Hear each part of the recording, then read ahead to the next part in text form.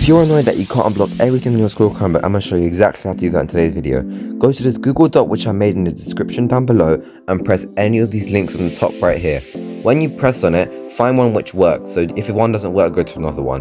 Then you get brought to this website which is called Doge Unblocker, and then when you are here, you can press apps. When you press apps, you can see all of these different apps which you can use, such as Google, Discord, YouTube, TikTok, Twitter, Spotify, and loads and loads and loads of different ones. If you want to search for one, just search for anything you want.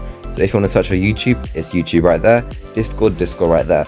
But if the website you want to go to is not on part of these apps, just take apps out of the URL on the top and then it will bring you right back to the home page. And when you are here, type https colon forward slash forward slash and then the website you want to do. So if it was Reddit, you can do that. If it was like something like Discord, you can do that. And all you need to do is press enter and then it will redirect you to the website and it's that simple.